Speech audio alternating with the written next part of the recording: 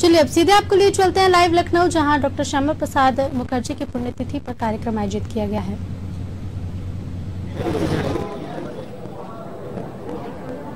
भारतीय जनसंघ के संस्थापक अध्यक्ष,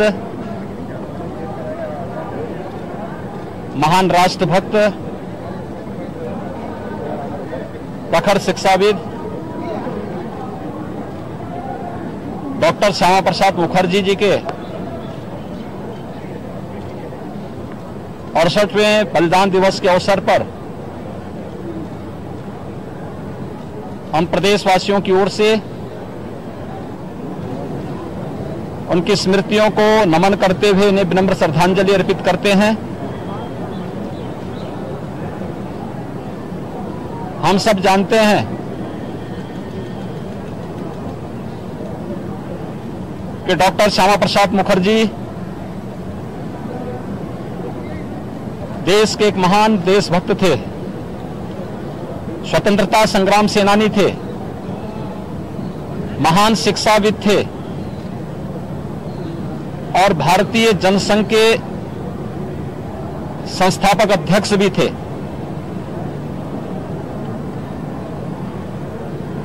देश के अंदर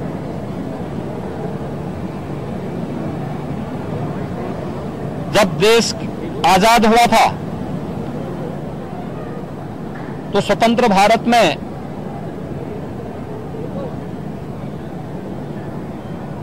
देश के अंदर उद्योग मंत्री के रूप में अपनी उल्लेखनीय सेवाओं को देते हुए उन्होंने देश को एक विजन दिया था। लेकिन जब कांग्रेस पार्टी की सरकार की कथित तुष्टीकरण की नीतियों के कारण उन्होंने सरकार से अलग हट करके भारत माता की सेवा के लिए अपने आप को समर्पित किया। भारतीय जनसंघ के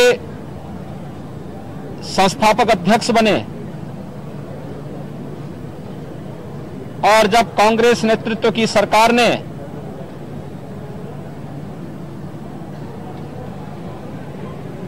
संविधान में चुपचाप चोरी छिपे।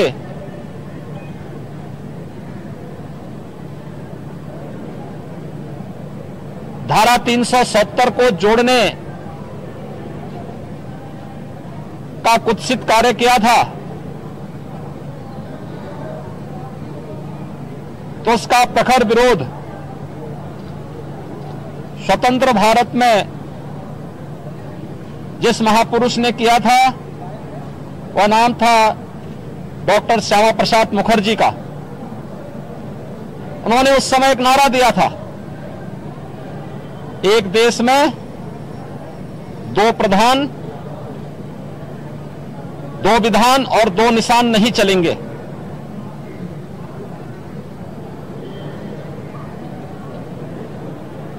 इसके खिलाफ उन्होंने आंदोलन चलाया।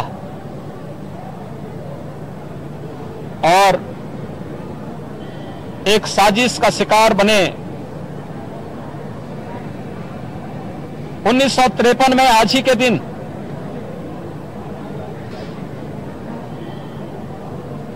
उनका महान बलिदान। भारत की एकता का आधार बना। डॉक्टर श्यामा प्रसाद मुखर्जी ने जो सपना देखा था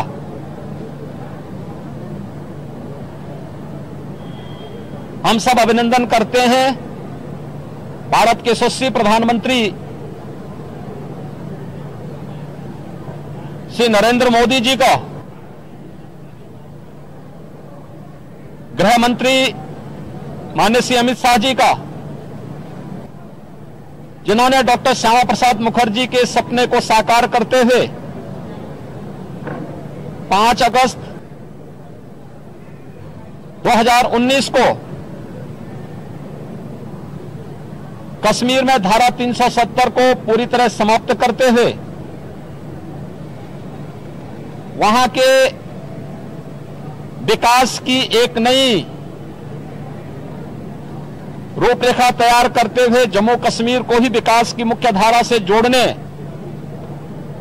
और भारत देश से आतंकवाद के समूल नाश करने के संकल्प को आगे बढ़ाया। आज जम्मू कश्मीर एक नए ओज और तेज के साथ विकास की मुख्य धारा से जुड़ करके लोकतंत्र की एक नई घोर के साथ आगे बढ़ रहा है। जिस जम्मू कश्मीर में लगातार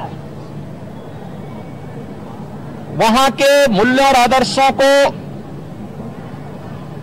रोकने और रोकने का प्रयास आज़ादी के बाद, धारा 370 लागू होने के बाद निरंतर हुआ। आज जम्मू कश्मीर के अंदर हर नागरिक विकास की मुख्य धारा के साथ जुड़ी रहा है, लेकिन साथ साथ उस जम्मू कश्मीर के अंदर एक अन्य बात तो देखने को मिल रही है कि अनुसूचित जाति, जनजाति, बंजारा और गुजर समाज के लोगों को भी आरक्षण की सुविधा का लाभ वहाँ पर प्रदान किया जा रहा है। विकास की मुख्य धारा के साथ पूरे जम्मू कश्मीर को जोड़ने का जो एक कार्यक्रम वर्तमान में चल रहा है और भारत के संवैधानिक प्रावधानों के अंतर्गत हरेक नागरिक को संविधान प्रदत्त अधिकार वहाँ पे प्रदान किए जा रहे हैं। यही तो सपना डॉक्टर श्यामा प्रसाद मुखर्जी जी का था। आज उनके अड़सठवें बलिदान दिवस के अवसर पर हम उस महामानव को, उनकी स्मृतियों को नमन करते हुए विनम्र श्रद्धांजलि अर्पित करते हैं। भारत की एकता और अखंडता का जो पाठ उन्होंने पढ़ाया, आज संकल्प चरितार्थ हुए हैं, होते हुए दिखाई दे रहे हैं। और एक भारत श्रेष्ठ भारत की परिकल्पना आज साकार होती हुई दिखाई दे रही है। यही डॉक्टर मुखर्जी के प्रति भारत राष्ट्र की विनम्र श्रद्धांजलि है। धन्यवाद।